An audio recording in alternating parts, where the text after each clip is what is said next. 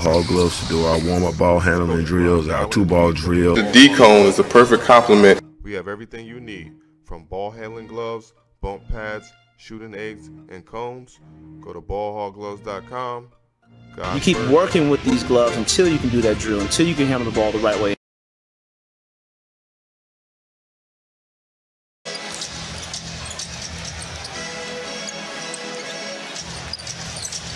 Here's Hauser off the screen, fires the three, and he's been on a nice heater of late. Youngest head coach in the NBA right now calls the play.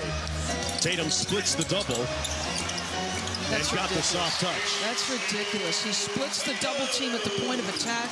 LaMelo likes to keep things low key, describing himself as a homebody who, after games, goes straight home to hang with his dogs. And they certainly are interesting company, guys. he has two Shar-Peis. And Thor sprinting. All 94 feet. That pass goes to Boston. Pritchard a two-on-one, lobs it up, and Tatum with the crush. Brogdon on the wing. Here's Tatum again against the shorter Dennis Smith Jr. They double team him on the bounce. Mike Muscala from the corner got it. Boom. Mike Muscala wearing number 57 as a Boston Celtic as Brogdon cans that three. At cross court, Grant Williams. Tatum with seven on the shot clock. Pulls the three. Another one. Well, coming up on the toe to halftime, Jalen Brunson with a big night for the Knicks. Tatum with the three. Rozier switches on to him.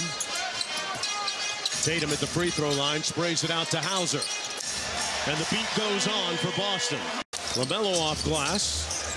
Tipped it up, and it comes out to Tatum. Boston on the move. Tatum steps through and gets the lefty layup. You know how Mahomes, not a direct comparison, but you know how Mahomes will sometimes change the throwing angle of his arm? Yeah, a good sign. Love it, love it. He used to play for Asvel in the French League, which is the squad owned by Tony Parker. Tatum! Oh, he gave them smoke. And LaMelo Ball, after a solid start, is now 5 for 15. Tatum steps through and one. Light work. And making music. This is ridiculous. I mean, the Euro step, as I said, career high. 70% in the restricted area.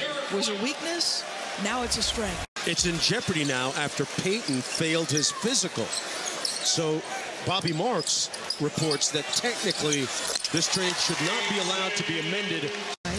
With the physical that happens at the right time Yes. in the NBA.